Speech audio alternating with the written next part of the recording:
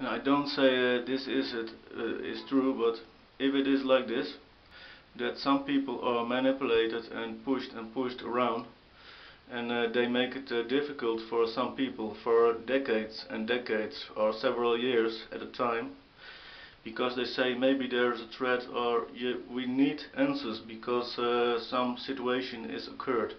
Well, in fact, it can happen that they are the reason of the situation that is occurred, and they are the reason someone is get pushed around and manipulated because they just make up a reason, or maybe they are right, I don't know. But some people they got it difficult because of a situation and they are harassed. In fact, the, the, the government can say we need to do it because maybe there is a dangerous situation. But if the government themselves is the reason of a, of a dangerous situation, then yeah, then someone can always do something when you think about it. Perhaps someone can do something because they the the buttons the buttons are pushed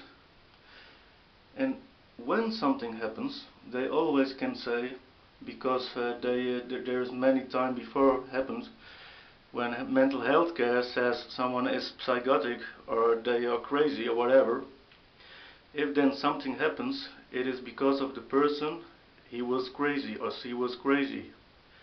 But in fact, if that person has many things to tell about what has happened, then maybe there can be some proof who is in fact the real guilty person.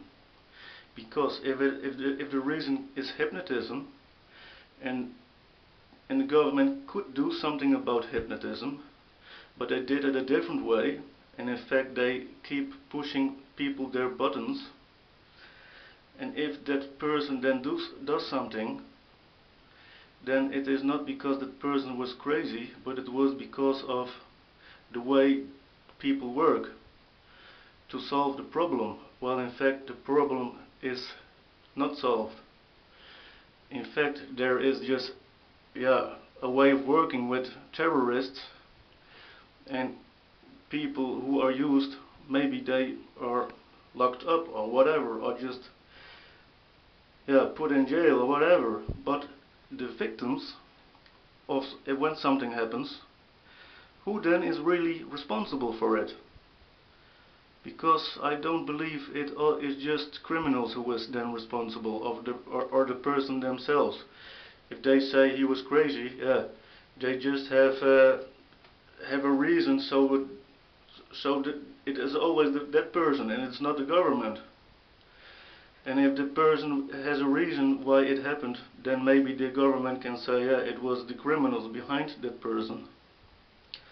But I, I wonder who is really responsible then if there is a solution to solve things a different way.